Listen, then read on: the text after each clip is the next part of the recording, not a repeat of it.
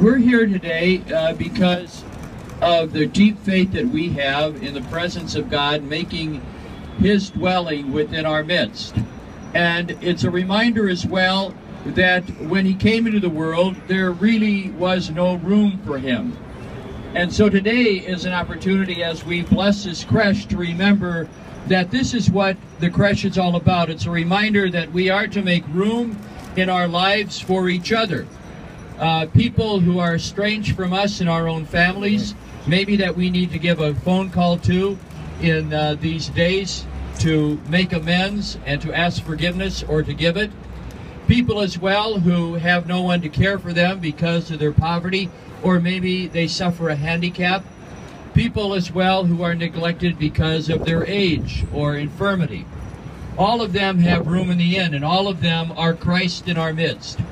And so what do you do today is not based on an ideology, but on a reality. We're here today to make a statement that there's always room in the end for those who carry the image of Jesus. Each one of us who are stamped with the image of God at our birth.